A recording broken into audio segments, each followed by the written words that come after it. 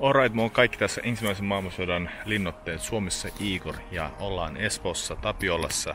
Täältä löytyy tykkipatteri 112 ää, jämät ja tässä jaksossa mä käyn katsomassa se ää, tykkipatterin jäännökset sekä siihen liittyvän yhdyshaudan tuota, tuota, jälkiä. Tilaa kanava, jos olet kiinnostunut aiheesta. Mä kuvaan kaikki ja olen kuvannut kaikki eka maailmansodan tukikohdat pääkaupunkiseudulla. Alright, let's go. Eli tämä on ensimmäisen maailmansodan aikana linnoitus, linnoituksen kuuluva tykkipatteri, eli Krepo Sveborgin tykkipatteri, venäläinen ja rakennettu vuonna 1915. Se on sijainnut tässä Kaupinkallion tie Vitosen kohdalla ja se on jäänyt tien ja tonttialueiden alle, mutta siitä on kuitenkin jälkiä olemassa, jotka mä kuitenkin arkistoin mun kanavalle. Tässä kohtaa siitä on näkyvissä betoninen ampumatarvike komero, jossa on puiset karvit vielä jäljellä. Naapuritonteella on näkyvissä maahan kaivettua yhdyshautaa ja maan pinnan alapuolelta saattaa löytyä myöskin säilyneitä rakennuksia. Aseistuksena on ollut neljä kappaletta 229 mm mörssäriä, pääampumasuuntina on ollut länsi-lounas.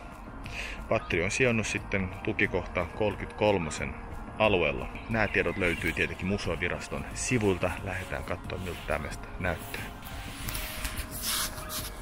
Eli tästä kun mennään, tässä on paljon louhintatyön jälkiä.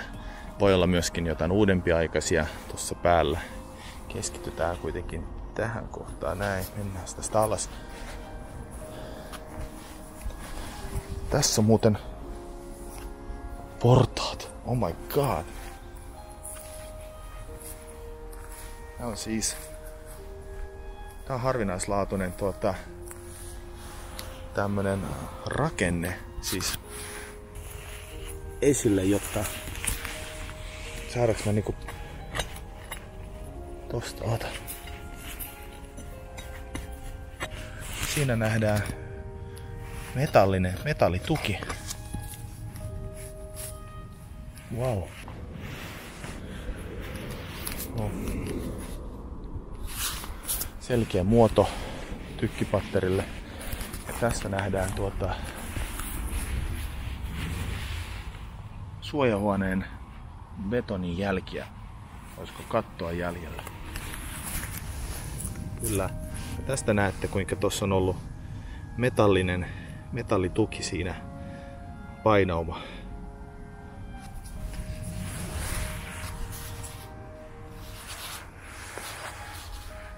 Lähdetään katsoa mitä muuta tästä jäljellä.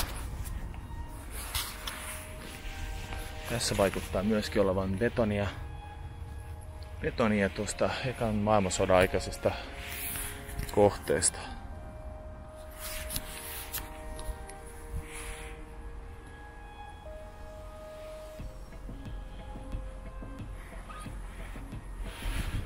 Ja tässä nähdään tosiaankin sitten tuota,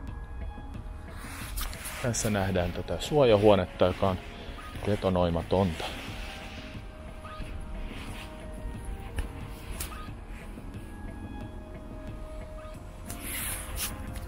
Aika laaja työ, leveys olisi ollut syvä, hyvä esimerkki esimerkiksi Myllypurossa, missä on voinut nähdä, miten tota, valmistuneempi tykkipatteri olisi näyttänyt.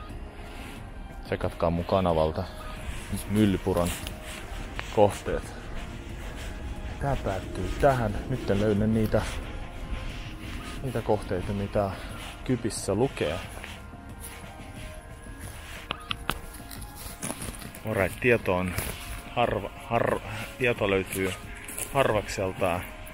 Tässä oli kuitenkin se, mitä tykkipatteri 112 on nyt enää jäljellä.